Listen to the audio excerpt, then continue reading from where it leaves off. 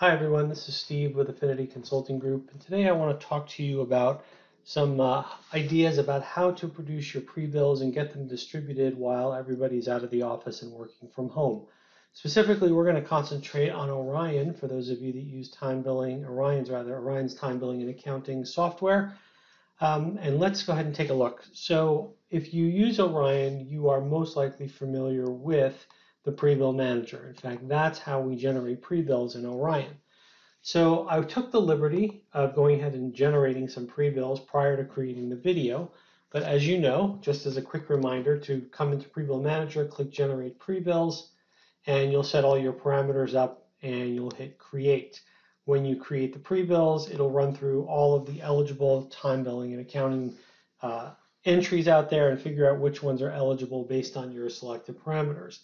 Once you've got the pre-bills generated, then what I'm what I've done next is I'm I turned on the grouping panel. So to do that, I you right click on the column headers and you'll choose show grouping panel. I'll just quickly turn it off and then we'll turn it back on again.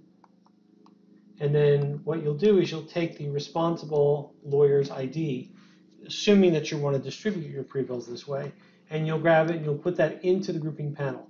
Now what that does is it shows you a, a total of all the records for each of the responsible lawyers.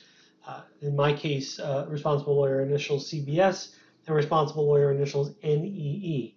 Now if I want to see the 10, I hit the little plus sign right here. It shows me the 10 pre-bills for CBS. And if I want to send them to him or her um, while he or she's working from home, I'm going to highlight the first one, hold the shift key down, highlight the last one, and then I'm going to right click and I'm going to say print pre-bills. Now the normal print pre-bill window will come up. Don't forget you can include a pre-bill worksheet on top of the pre-bills if you want. You can also uh, include the cost images that have, may have been scanned in with the pre-bills. And I am going to then choose export and I'm going to choose PDF. Now, as a prerequisite to this, this requires that you have what I call PDF production software. Um, Adobe Acrobat, not the reader, um, Nuance Power PDF, CutePDF, Nitro PDF. There's a whole lot of them out there. Um, in my case, I've got Nuance Power PDF, so I'm going to choose PDF file. What Orion's going to do is it's going to take those pre-bills and it's going to print them into one long PDF. Now, I chose the pre-bill worksheet, so that's my first page. What's nice about this is the attorney can print this page out if he or she wishes and keep track of what he or she has done with the pre-bills. Moving on to the next page, here's our first pre-bill. I'm going to go ahead and slide down to the second one. and in Power PDF, I can do a couple of things. I can notate if I want to make some changes. So let's say, for example, that I want to take this, uh, I want to supplement what it says here in the trial preparation. So in my PDF software, and they all do this, um, in Power PDF, I come over to where it says comment and I click on note. Like I said, they all have this function it's just a matter of being able to find the note button. I'm going to click on note and I'm going to click my mouse right next to where I want to make an edit and click one time. And what it does is it puts a little yellow icon there that references a note. By the way, you can change the color if you want. And here I'm going to say add uh, this to the time entry description, meeting with client and judgment in client's favor. And perhaps I want to say also make the time entry 11.0 hours or something along those lines. And you can see in here I've misspelled and I can right click and I can fix that. Close that up and it leaves a little notepad right there that your uh, attorney can leave for you and you can then hover over it. You can see the details. You can actually click on, double click on it. It'll open the note if you want to. So you can do some copying and pasting, etc. Now, Again, that presumes that the recipient A has PDF production software where they can put a note on the pre-bill, and B, they know how to do it. Now, if they don't know how to do it, the other option that you have, go ahead and send the pre-bills just like we suggested, but also send them in a errata sheet. So if you notice, every record in the pre-bill has a record number. And the record number is unique to that particular time entry. So I created an errata sheet. Let me show that to you here. And if you shoot me an email, I'll send this to you if you want, or feel free to just copy my idea and create your own errata sheet. But what I've created here is a place where I can check off put that record or entry number, the matter number in question, and then my instructions. So this is a great way for the attorney who's not quite comfortable with editing a PDF to go ahead and um, utilize the errata sheet by typing in the entry number, matter number, and their, their instructions. Now, let's minimize this again. Let's go back to Orion.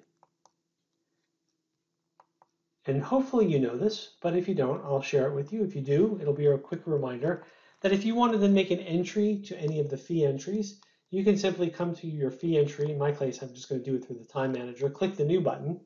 Now, of course, you can bring up the time and you can edit it here. You can also click the new button and then right here there's a little icon that looks like a magnifying glass. Click on that and put in the entry number or the record number that the attorney has referenced. Click OK, it brings up that fee entry. You can make edits here. You can change the amount of time, you know, if necessary. I want to make this 2.8 or whatever it is. Click Save, and that makes the modification for you because of course I don't have a rate code. So let's go ahead and just choose that. We'll hit save. And that makes that modification for me. And, and that entry is still released to WIP.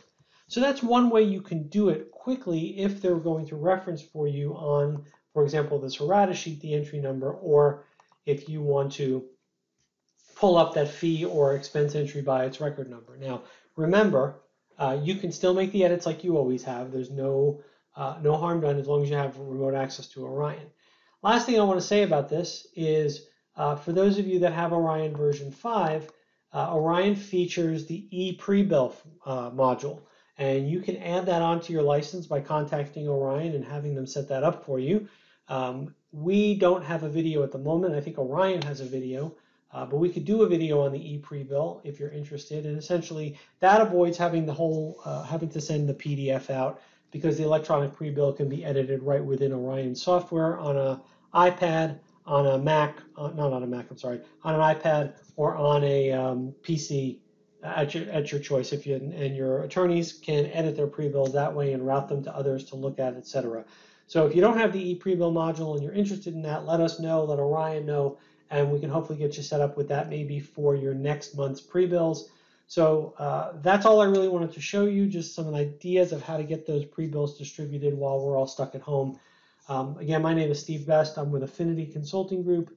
And if you have any questions, you can reach me at uh, sbest at affinityconsulting.com or call any one of our main numbers, uh, such as 770 998 3800.